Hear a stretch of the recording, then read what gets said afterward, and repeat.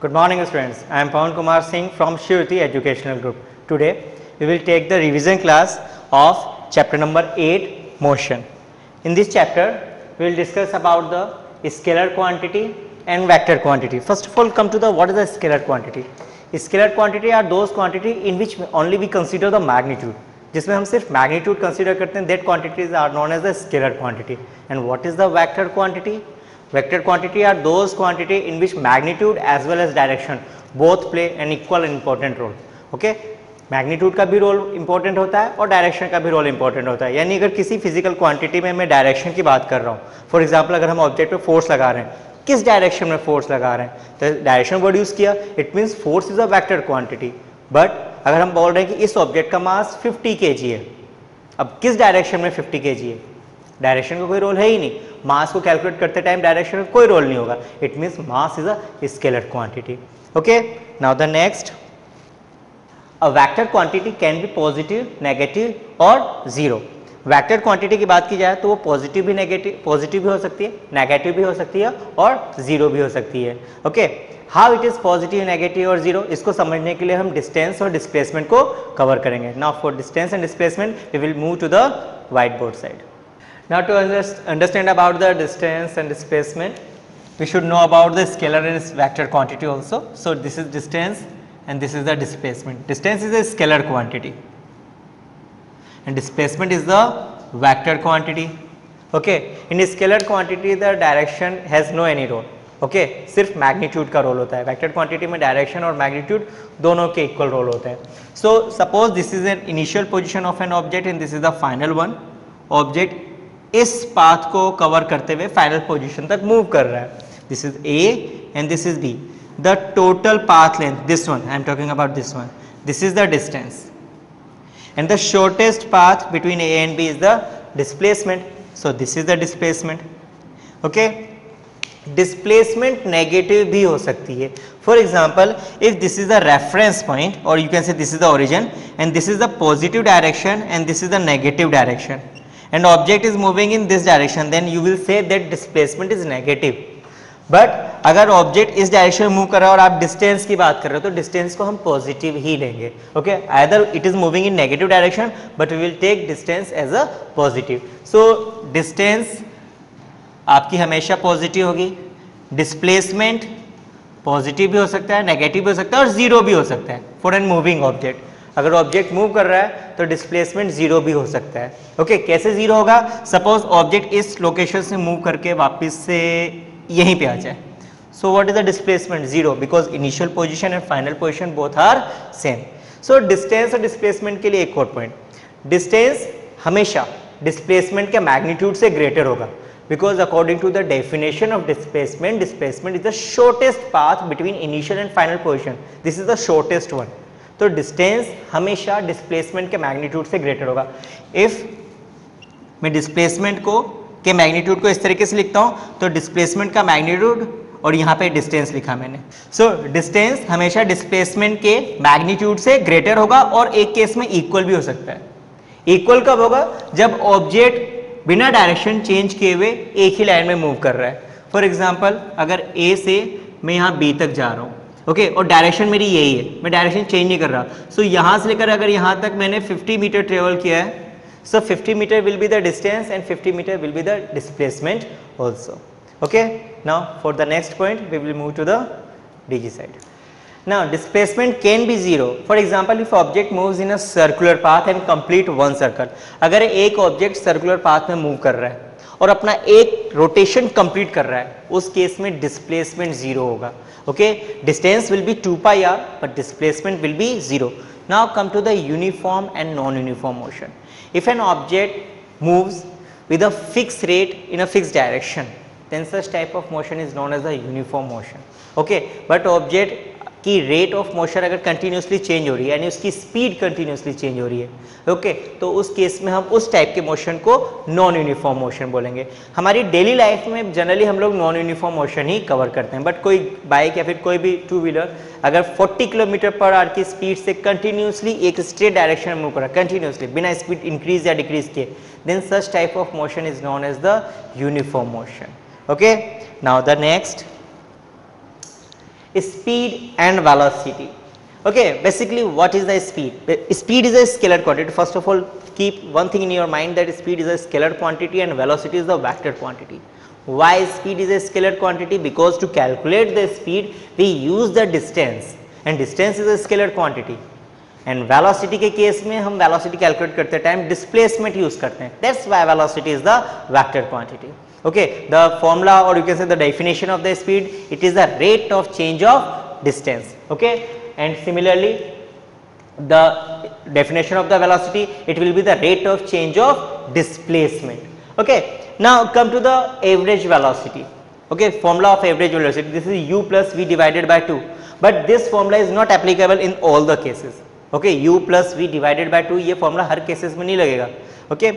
ये कब लगेगा ध्यान सुनना if an object is moving with a fixed acceleration or you can say if the object is moving in such a way that the speed is changing with uniform rate okay object move कर रहा है इस तरीके से कि उसकी speed uniform rate से change हो रही है okay suppose the initial speed is 20 meter per second और उसकी स्पीड यूनिफॉर्म रेट से इंक्रीज हो रही है जैसे 20 के बाद 21 मीटर पर सेकेंड ओके नेक्स्ट सेकंड में 22 metre per second next second 23 metre per second इस तरीके से उसकी स्पीड यूनिफॉर्म रेट में इंक्रीज हो रही है।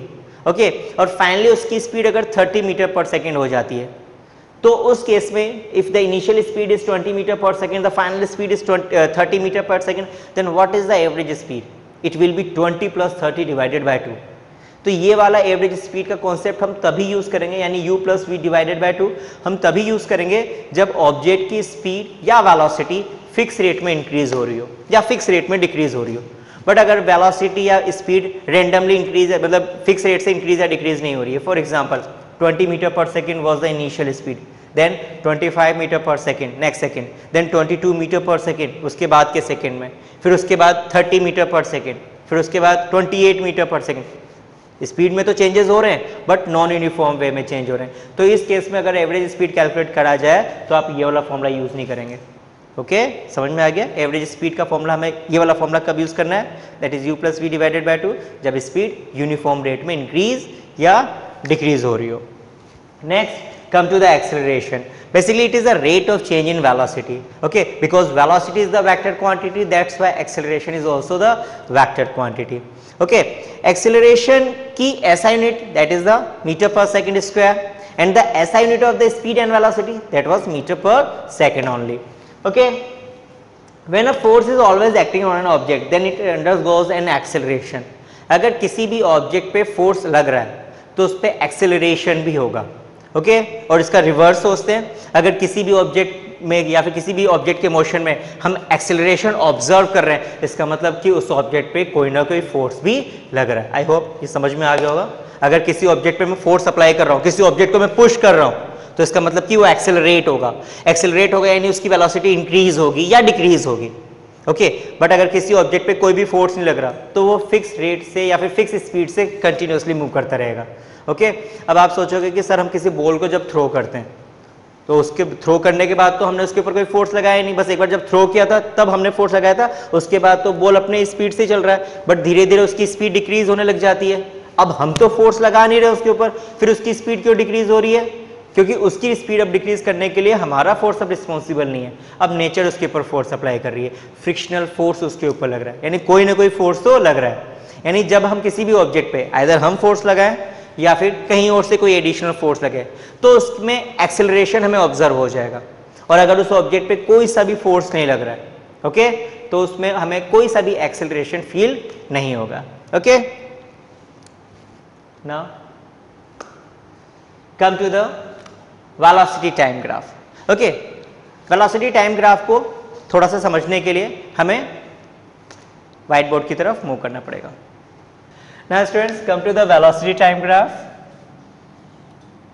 this is the time okay X axis represented here time and this is the Y axis which represent the velocity okay suppose this is an object move with the accelerated motion, any velocity increase ho rahi hai iski. Okay, in the velocity time graph we have two things which we can find out in the velocity time graph. First the displacement and second acceleration.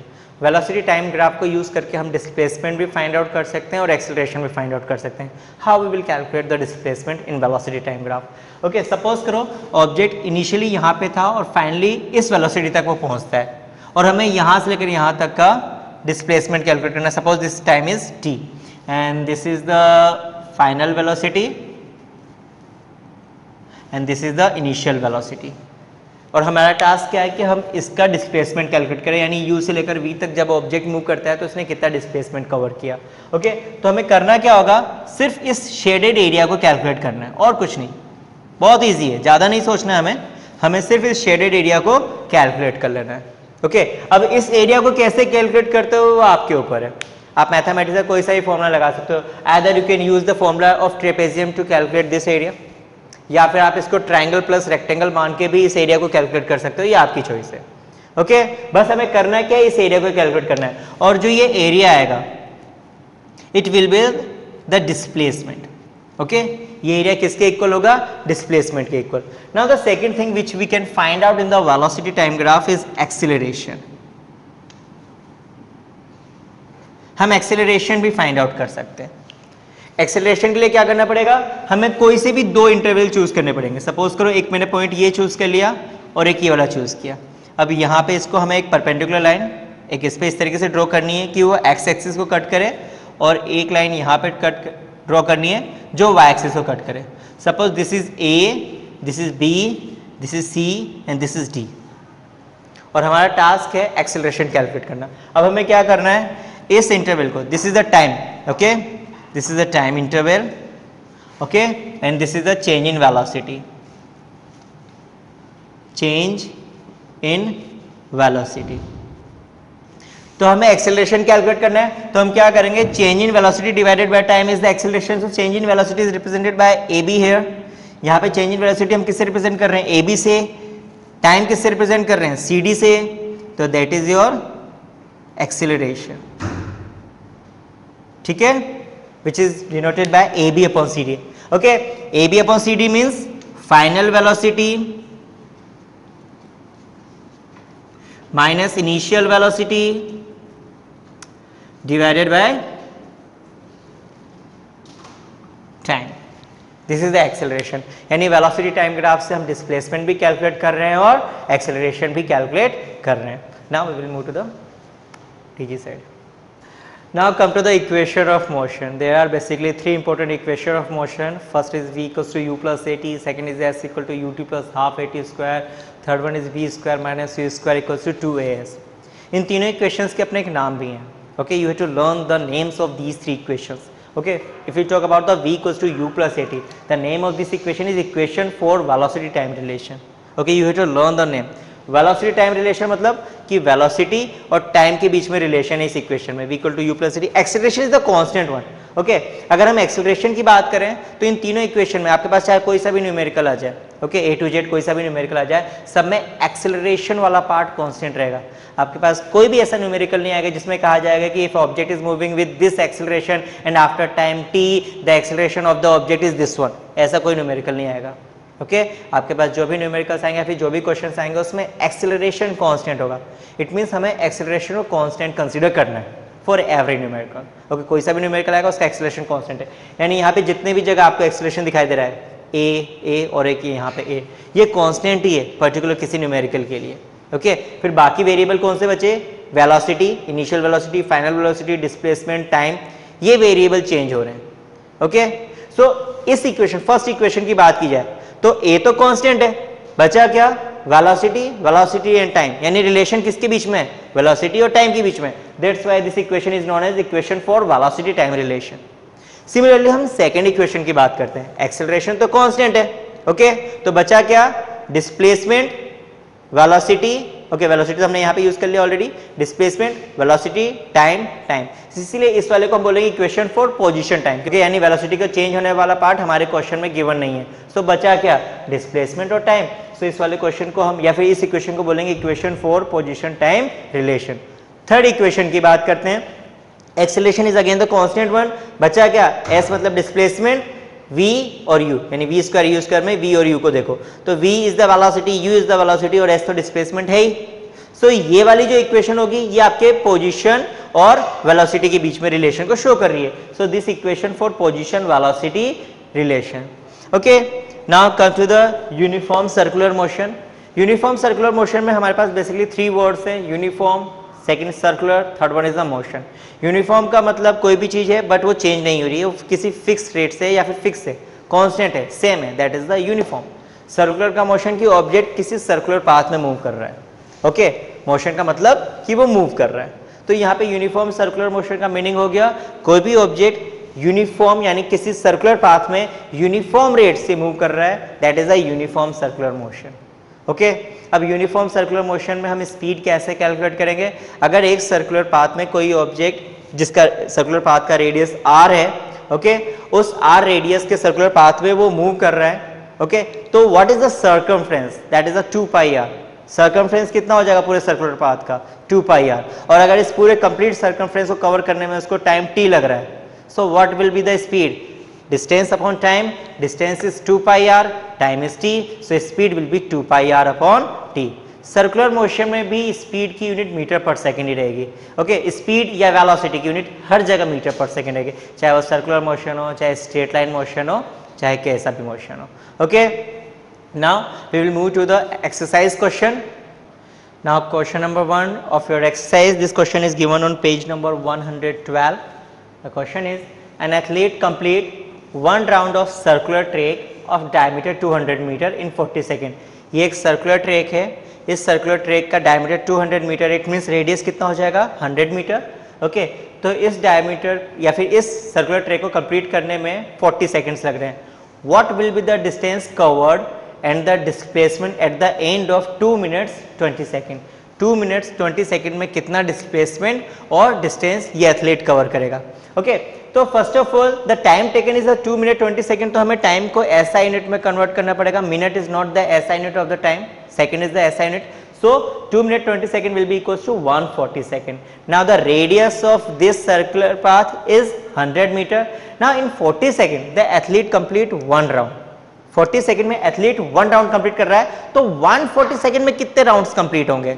This will be equal to 140 divided by it means three and half round it means suppose athlete is position पर है okay so this is the one round one circle complete किया second third and three and half and A is the initial position and B is the final position of this athlete the distance covered in 140 second equals to 2 pi r into 3.5 because the circumference is 2 pi r और इस circumference को वो कितने times cover कर रहा है 3.5 times So, total distance will be equals to 2 pi r into 3.5. Now, यहाँ पे pi की वैल्यू पुट कर देना। Okay okay? हम पाई की वैल्यू पुट कर देंगे। That is 2 into twenty two upon seven into hundred into three point five it will be equal to two two zero zero यानी two thousand two hundred metre now the question is what is the displacement okay so displacement के लिए हमें shortest path देखना है। This is the initial position and this one is the final position हमें इस वाले circular पास से कुछ लेना देना नहीं है कि वो कैसे गया वहाँ तक। हमें तो ये देखना है कि ये इनिशियल है, ये फाइनल है। इन दोनों के बीच में शॉर्टेस्ट पाथ कौन सा होगा? दिस डायमीटर ये डायमीटर है this one represent the shortest path okay और डायमीटर की वैल्यू कितनी है? 200 metre So displacement in this question will be equals to 200 meter. Okay, 2200 meter is the distance and 200 meter is the displacement. Now हमने एक चीज़ पढ़ी थी कि displacement हमेशा distance से छोटा ही होगा आपने एक एग्जांपल भी देख रहे हैं यहाँ पे कि displacement की वैल्यू 200 मीटर आ रही है और distance की वैल्यू 2200 मीटर आ रही है okay now come to the question number seven a ball is gently drop from a height of 20 metre एक बॉल को 20 मीटर की हाइट से ड्रॉप किया जा रहा है ओके इफ़ अगर हम बॉल को ड्रॉप कर रहे हैं the initial velocity of the ball will be equals to zero if its velocity increases uniformly at the rate of 10 metre पर सेकंड स्क्वायर अब एक्सेलरेशन की वैल्यू हमें 10 मीटर पर सेकंड स्क्वायर गिवन है. With what velocity will it strike the ground वो ball ground को किस velocity के साथ हिट करेगा? And after what time it will strike the ground और कितने टाइम के बाद वो बॉल ग्राउंड को हिट करेगा? दो क्वेश्चन पूछे गए इसमें. So first of all initial velocity zero metre पर सेकेंड क्योंकि हमने सिर्फ़ बॉल को ड्रॉप किया है।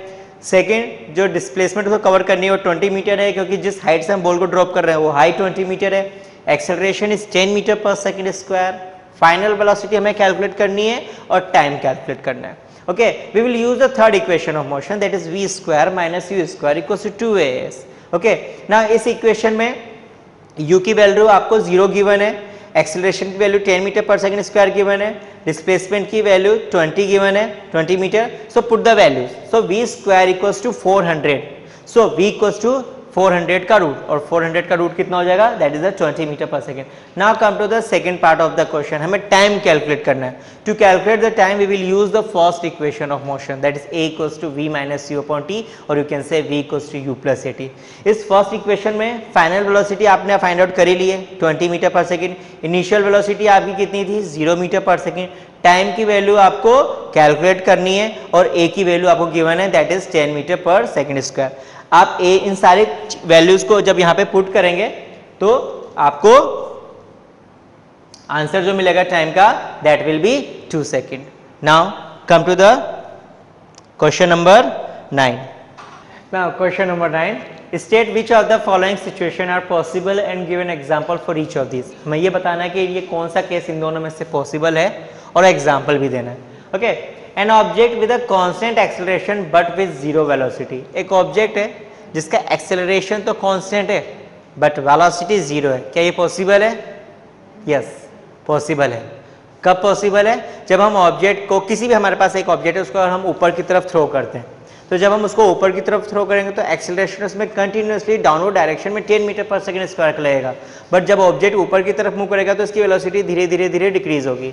और एक ऐसा टाइम आएगा मैक्सिमम पोजिशन पर या फिर मैक्सिमम हाइट पर जब उसकी वेलोसिटी ज़ीरो हो जाएगी। बट उस वेलोसिटी पे या फिर उस पोजीशन पे, उस ऑब्जेक्ट पे लगने वाला एक्सेलरेशन ज़ीरो नहीं होगा। वो अभी भी 10 मीटर पर सेकंड स्क्वायर लग रहा है। यानी ऑब्जेक्ट को जब मैंने ऊपर थ्रो किया तो उसकी मैक्सिमम हाइट पे उसकी वेलोसिटी ज़ीरो हो चुकी है बट एक्सेलरेशन अभी भी 10 मीटर पर सेकंड स्क्वायर है। Okay it means first case possible है। और एग्ज़ाम्पल भी मैंने आपको बता दिया। Now come to the B part an object moving in a certain direction with an acceleration is perpendicular to the direction अगर ऑब्जेक्ट किसी डायरेक्शन में मूव कर रहा है और एक्सेलरेशन उसकी डायरेक्शन ऑफ़ मोशन के परपेंडिकुलर है सर्कुलर मोशन ओके इसका एग्ज़ाम्पल है। ओके फॉर एग्ज़ाम्पल अगर एक object continuously circular motion move कर रहा है तो उस पर लगने वाला जो एक्सेलरेशन होता है, वो हमेशा सेंटर की तरफ़ होता है। और डायरेक्शन ऑफ़ मोशन की बात करें तो डायरेक्शन ऑफ़ मोशन हमेशा टेंजेंट होगा। ओके नाउ इस वीडियो, इस चैप्टर में हमने मेन वीडियो में टेंजेंट के बारे में भी पढ़ा था कि टेंजेंट क्या होता है। ओके तो tangent represent the direction of motion circular motion में टेंजेंट जो होगा वो डायरेक्शन ऑफ़ मोशन को रिप्रेजेंट करेगा और उस पोजीशन को अगर मैं सेंटर से कनेक्ट करता हूँ तो वो वाली लाइन किसको रिप्रेजेंट करेगी? एक्सेलरेशन के डायरेक्शन को। अब सेंटर से कनेक्ट होने वाली लाइन और टेंजेंट के बीच में जो एंगल बनेगा वो कितना बनेगा? जस्ट सोचो इसको। सेंटर से कनेक्ट होने वाली लाइन और टेंजेंट के बीच में जो एंगल बन रहा है। एग्जैक्टली exactly, 90 डिग्री का बनेगा। Okay okay? यानी यहाँ पे डायरेक्शन ऑफ़ मोशन और एक्सेलेशन के बीच में जो एंगल बन रहा है वो कितने डिग्री का बन रहा है? 90 डिग्री का बन रहा है। यानी ऐसा केस पॉसिबल है। जब डायरेक्शन ऑफ़ मोशन और एक्सेलरेशन के बीच में 90 डिग्री का एंगल बने। और वो कब होगा? यूनिफॉर्म सर्कुलर मोशन में। Okay now the question number ten an artificial satellite is moving in a circular orbit of radius 42,250 km. We have to calculate its speed if it takes 24 hours to revolve around the earth. Okay? एक satellite है okay? जिसका circular orbit का radius given है हमें that is R की value हमें already given है but ये किलोमीटर में गिवन है तो हमें इसको मीटर में कन्वर्ट करना पड़ेगा सेम रीजन ऐसा यूनिट ओके सो इसको हमने मीटर में कन्वर्ट कर दिया वन किलोमीटर में वन थाउज़ेंड मीटर होते हैं तो इसको हमने थाउज़ेंड से मल्टीप्लाई कर दिया टाइम जो गिवन है वो ट्वेंटी फोर आवर्स गिवन है again hours is not the S unit तो हमें इसको भी सेकंड में कन्वर्ट करना पड़ेगा। तो यहाँ पे टाइम को भी हमने सेकंड में कन्वर्ट कर दिया। ना अब सर्कुलर मोशन की स्पीड हमें कैलकुलेट करनी पड़ेगी। हमने ऑलरेडी अभी थोड़ी देर पहले डिस्कस किया था कि सर्कुलर मोशन की स्पीड कैसे कैलकुलेट करते हैं। Circumference divided by time taken तो सर्कमफ्रेंस की वैल्यू होती है टू पाई आर टाइम की value T so v equals to two into pi की वैल्यू 3.14 r की वैल्यू ऑलरेडी हमें गिवन है वैल्यू पुट करना टाइम की वैल्यू आपने ऑलरेडी सेकंड में कन्वर्ट करके यहाँ पे पुट कर दिए। जब हम इसको कंप्लीटली सॉल्व करेंगे तो answer will be equal to 3070.9 metre per second और अगर हम इसको किलोमीटर पर सेकंड में कन्वर्ट करेंगे तो 3.07 kilometre per second be safe thank you